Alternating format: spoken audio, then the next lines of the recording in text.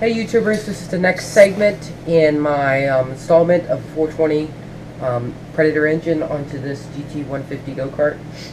Um, and I'm going to go over some engine mounting stuff. So here's the engine here, um, and I've got all the parts mounted on it. Now right down here you'll see this is a mounting plate for it, and this is something that your engine will bolt to and then you can weld right to that for your bracket system, Where, however you're going to do that. Where'd you get that from? Is that hard to find? Uh, you the company I got it from was GoPowerSports.com. That's the only place I found that has it. Um, Amazon, eBay, that those kind of websites didn't seem to have it. Uh, you could make one yourself if you had the stuff to, but you can just buy one too. Um, and here are some brackets I made out of angle iron. I used angle iron because it's cheap and it's pretty strong. Um, and this is going to go inside here into these two um, frame rails in the back. So just like that.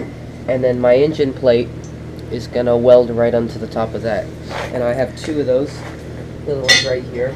Um, so the angle was cheap, so I got it. Um, so the axle here, what I did was I flipped the axle.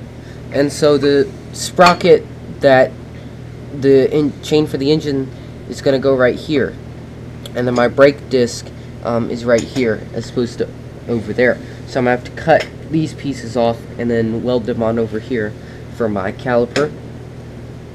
Um, yeah, it's a bit tight over there, but it seems to work, so that's what I'm going to do.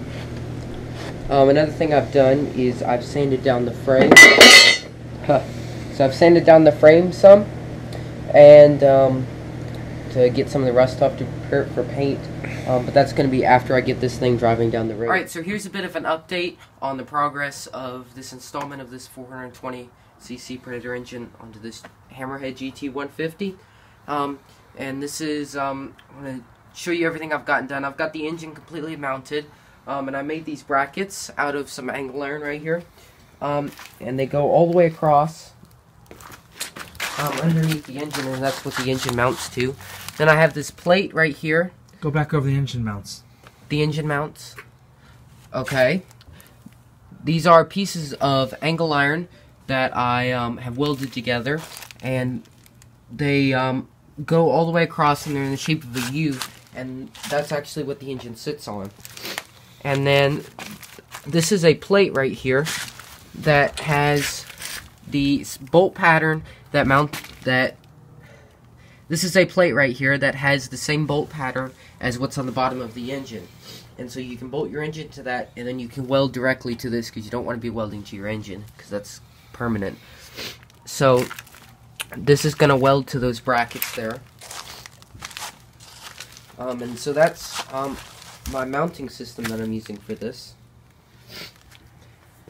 So this completes the installation of this engine. Um, be sure to like, comment, subscribe. If you have a question, comment. Um, be sure to like the video. Yeah. Thank you for watching.